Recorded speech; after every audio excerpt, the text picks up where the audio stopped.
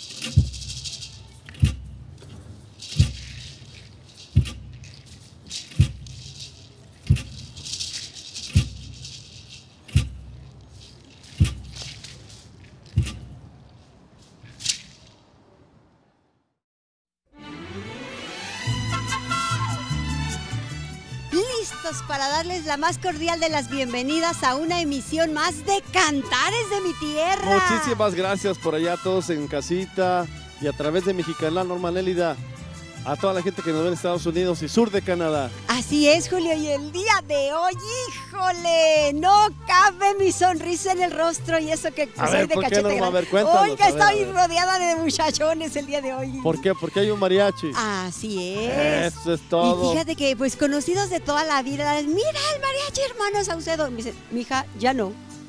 Ahora ya es el mariachi herencia de mi padre. Y óvole, pues muchísimas gracias por acompañarnos en este hermoso día, Normita. ¿Pero qué cree? Que no vienen solos. ¿Con quién vienen? Con una muchacha que canta precioso, que ¿Y cómo también ya llama tenía ratito que no la veía.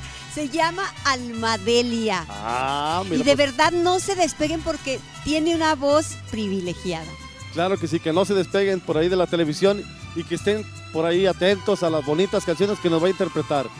Oye, por cierto, que nos escriban más a nuestras redes sociales. También, como no, a Radio y Televisión de Aguascalientes. Normal Élida, Y Julio Díaz. por ahí en Facebook que estamos para que nos escriban con mucho cariño.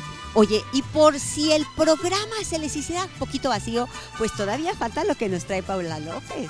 Pues vamos a ver esa cápsula, Normita, que el día de hoy de qué nos habla. De las orquestas tradicionales de antaño. Vámonos. Así que pues, aprendamos juntos y vamos con esta información.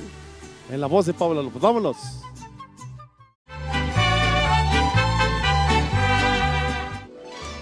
La orquesta típica se fundó en Ciudad de México en 1884, bajo la dirección del maestro Carlos Curti, dejando un importante legado para el acervo de la música mexicana. Y hoy te invito a conocer un poco más del tema. Teniendo como antecedentes las interpretaciones de sones y jarabes, surge en la Ciudad de México la primera orquesta, que integraría un mayor número de músicos e instrumentos que a diferencia del mariachi, le darían el toque sinfónico a la música nacional que alegraba las plazas, jardines y ferias desarrolladas en el siglo XIX. El sonido que emanaba de la agrupación dirigida por el maestro Curti connotaba una fusión armónica de la música francesa, española e italiana, que resultó ser un ponente imán para artistas, bailarines y visitantes del extranjero.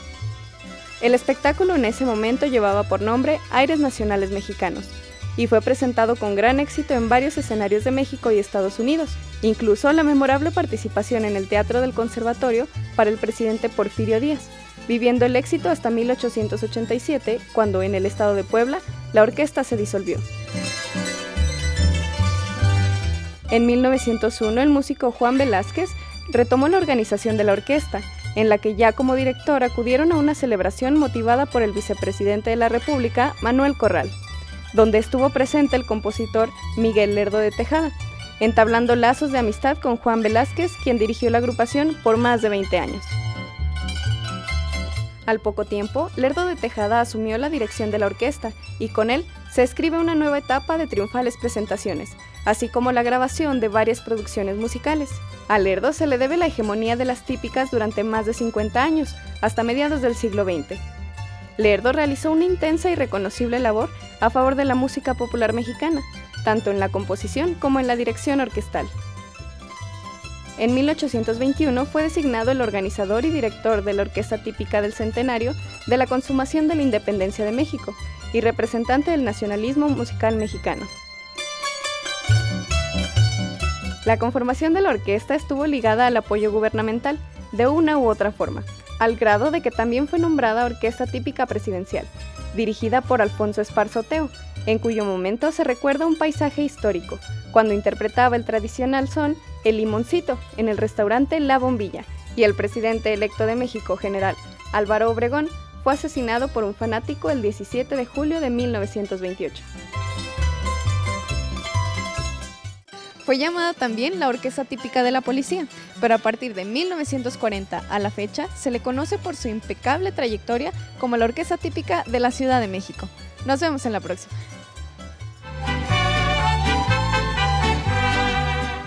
Pues ahí está, mis amigos, siempre tan atinada la información que nos tiene nuestra amiga Paola López, Normita. Así es, pero yo ya con este tañer de campanas, yo ya quiero escuchar música bonita y, escuchar a Almita, porque canta precioso acompañada del mariachi herencia de Pues mi venga, Almita, vámonos con ese mariachi que el día de hoy nos acompaña.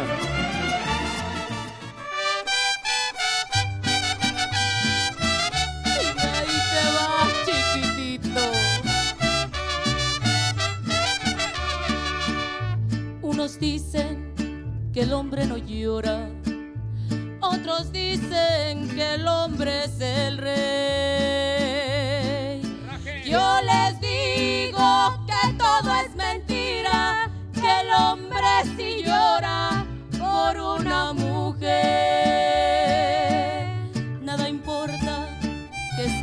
Valiente y que tenga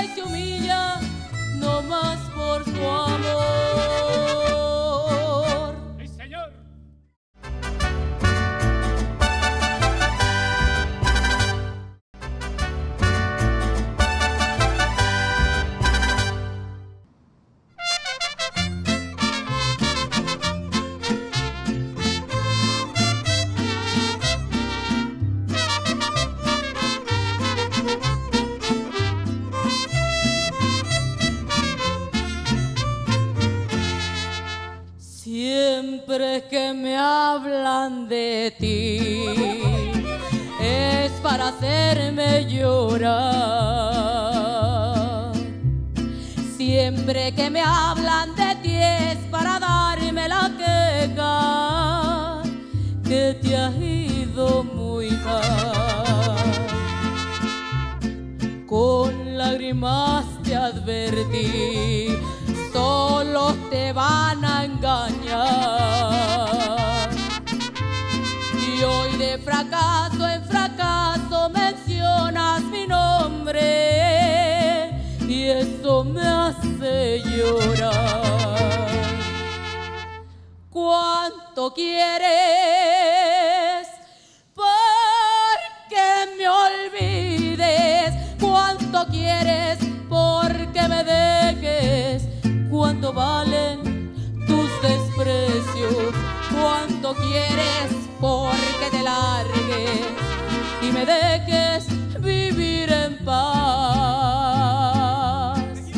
Pobre leña de pirul, que no sirves ni para. Pobre leña de pirul, que no sirves ni para. No más para hacer llorar.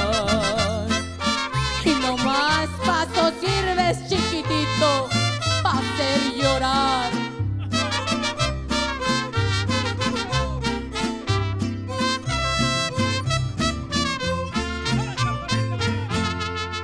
¿Cuánto quieres? Porque me olvides. ¿Cuánto quieres? Porque me dejes. ¿Cuánto valen tus desprecios? ¿Cuánto quieres? Y me dejes vivir en paz. Pobre leña de pirul, que no sirves ni parder. Pobre leña de pirul, que no sirves ni parder. No más para hacer llorar.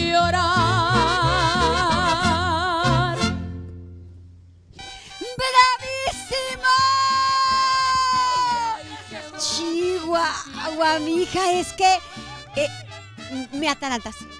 Me atarantas de verdad. Muchísimas gracias. Gracias a todos, a todos por estar aquí, por engalanar nuestro programa. El día de hoy se vibra bien especial porque la música viva es otro rollo. Y con mariachi, pues oiga usted, herencia de mi padre. Sí, señor. Pero Almita, ahorita que, que llegó y que la estaba viendo, dije, empezó a trabajar mi memoria fotográfica y todavía jala. Y dije, pues si yo conozco esa muchichilla. ¿Ya cuánto tienes cantando nuestra bella música, Almita? Ya 10 años, 10 años cantando. Más o menos es la cuenta que yo hice de que hiciste aquella vez e- ese programa con una servidora. Exactamente.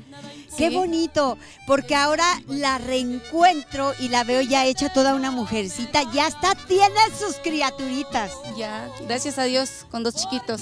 Pero qué bueno que aún con tus bebés, con todo, sigues adelante eh, en lo nuestro, en nuestra música. Que es lo más bonito.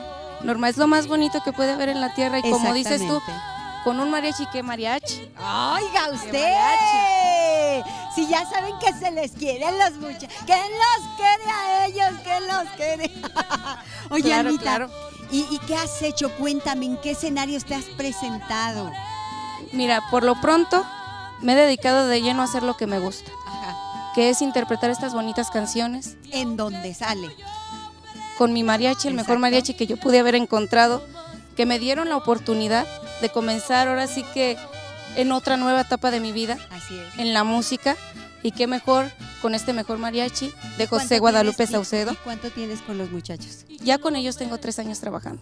Tres años trabajando que me dieron esta oportunidad y que puedo decir que es la mejor etapa que yo estoy viviendo de mi vida.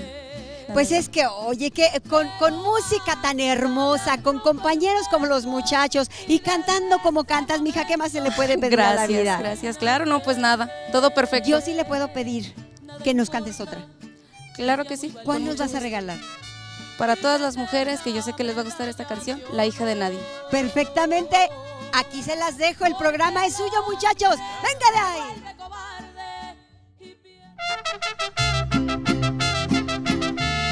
Y ahí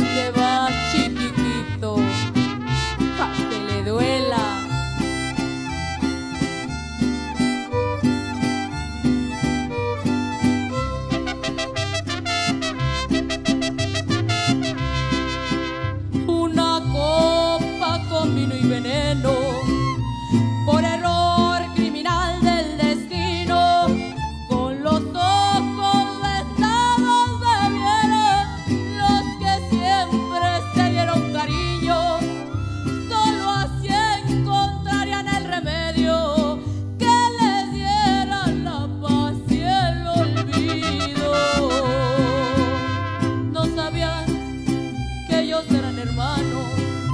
Hasta mucho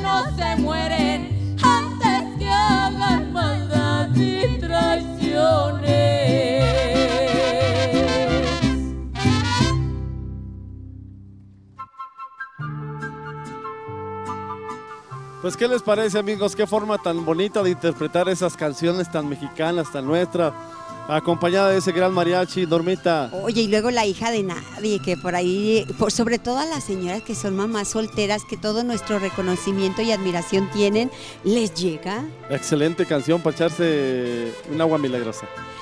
Oye, Julio, ¿tú te acuerdas de Felipe Arriaga?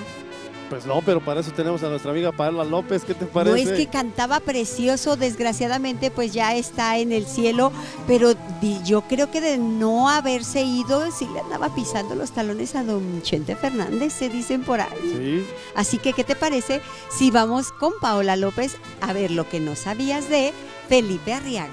pues vámonos.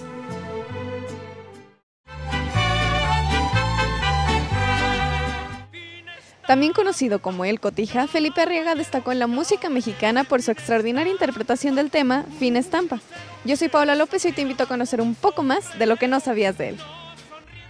Proveniente de una familia muy humilde, se empleó como zapatero en su natal Michoacán, sin saber que el destino le depararía una brillante carrera como cantante y actor. Era encargado del mariachi Los Aguilar en la Ciudad de México, cuando impulsó a un jovencito jalisciense que más tarde se convertiría en la gran estrella de la música ranchera, don Vicente Fernández. En el cine debutó en la película Entre monjas anda el diablo, al lado de su entrañable amigo Vicente Fernández, a la que se anexan otros 21 títulos que complementan su filmografía. Felipe Arriaga murió dramáticamente en 1988, dejando con su música y sus películas un legado inolvidable para los mexicanos. Nos vemos en la próxima.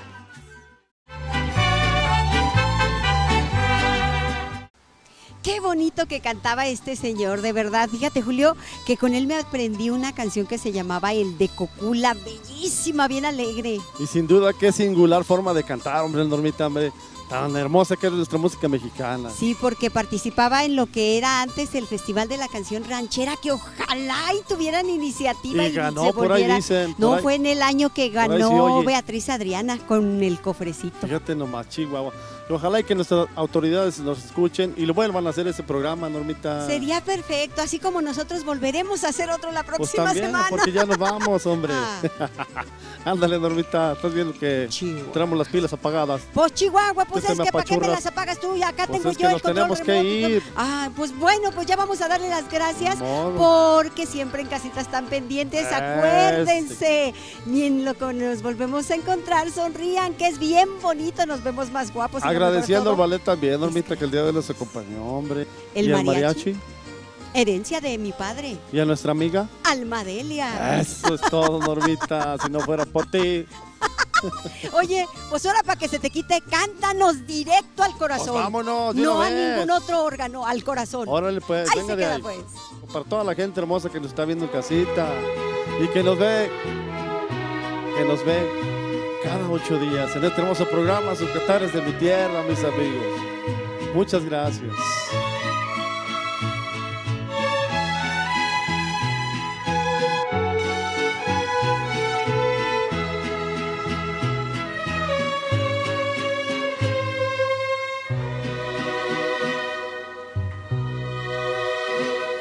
Acaba de una vez con esta historia, apúntame directo al corazón.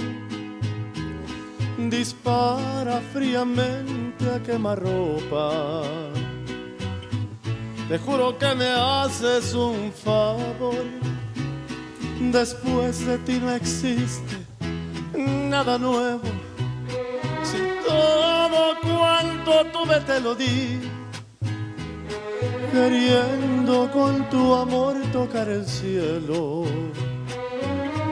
Resulta que el infierno me gané y solo porque tú me cambiaste por unas monedas y solo porque tú no supiste soportar mi pobreza y solo porque tú por unas monedas y solo porque tú no supiste soportar mi pobreza. Uh,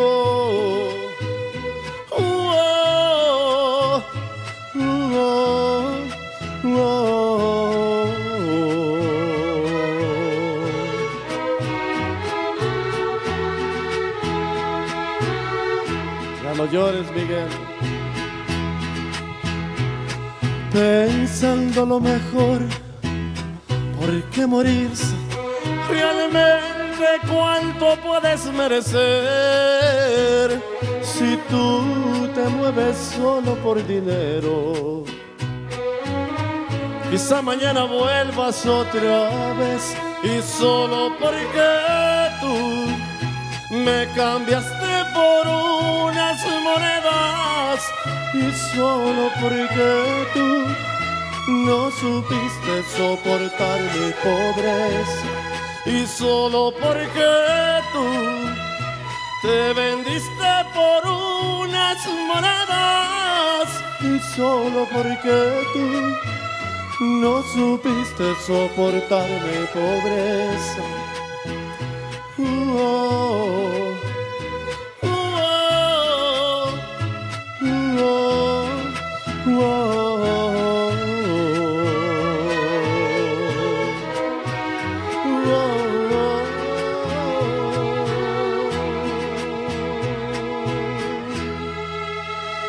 Están mis amigos, muchas gracias.